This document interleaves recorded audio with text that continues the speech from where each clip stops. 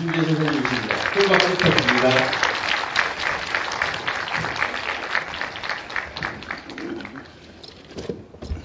이 처음에 그 업에 목소리 녹음을 하자고 제의가 왔을 때 그래서 이게 어떤 영화인가 생각을 했습니다. 왜냐하면 요즘 그 만화 영화들이 공상 과학 만화들도 많고 또 이 저 싸우는 만화 이런 것들이 많기 때문에 또 어떤 것도 대단히 살벌한 것도 많고 그렇기 때문에 좀 꺼렸었는데 이 작품을 보니까 저희들이 어렸을 때 디즈니랜드 또 디즈니 픽처스의 작품들을 보던 추억이 생각이 납니다. 우리 어렸을 때도 뭐 백설공주다, 오늘 또 신데렐라다, 오늘 또 피터팬이다 여러 작품들이 이제 많이 우리 디즈니랜드 통해서 봤는데 그 다음에 또 옛날에는 이 디즈니랜드는 그, 그 아워드가 있었어요. 그래서 이게 이제 우리가 그 영화도 과거에 그 다빙을 해봤는데 그런 추억을 가진 작품 봤더니 상당히 유익한 영화고 아주 감동적인 영화다.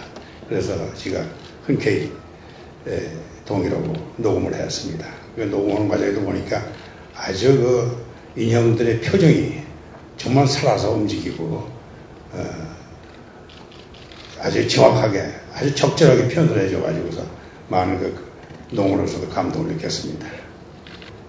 에, 과거에 저희들이 그 텔레비 시리즈라든지 영화, 외화는 제가 그 녹음을 해본 적이 없습니다.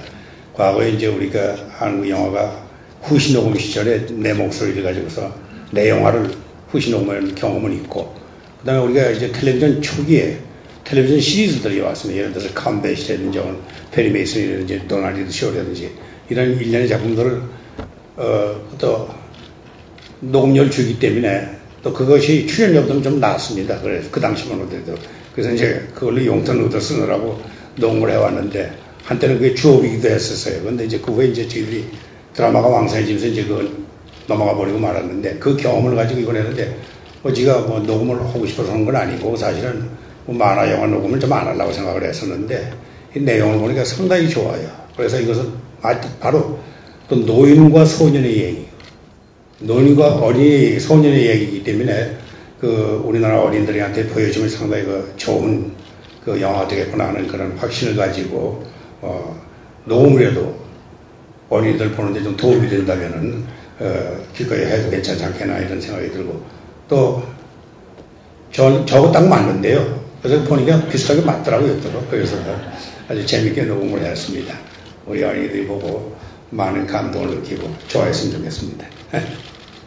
이제 노인하고 같이 그 패러다이스 찾아가고 또 그 꿈을 이루기 위해서 함께 그 어, 동고동락하는 그런 내용입니다. 그 저는 뭐 특별한 꿈이 없습니다. 그냥 지금 하고 있는 거 건강하게 잘 했으면 하는 생각이고 뭐 가까운 꿈이 하나 있다면은 이, 이 자리에서 이거 얘기해도 되는지 모르겠지만 남의 터전해가지고 내 얘기해서 안 됐습니다만 9월달에 시드콤을 하나 시작하는데 그게 더좀잘 됐으면 그런 말로 가장 가까운 꿈입니다. 맞습니다.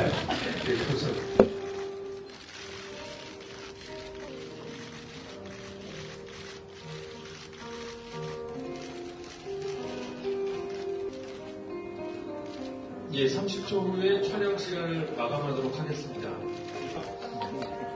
안녕히 돌아가시고요.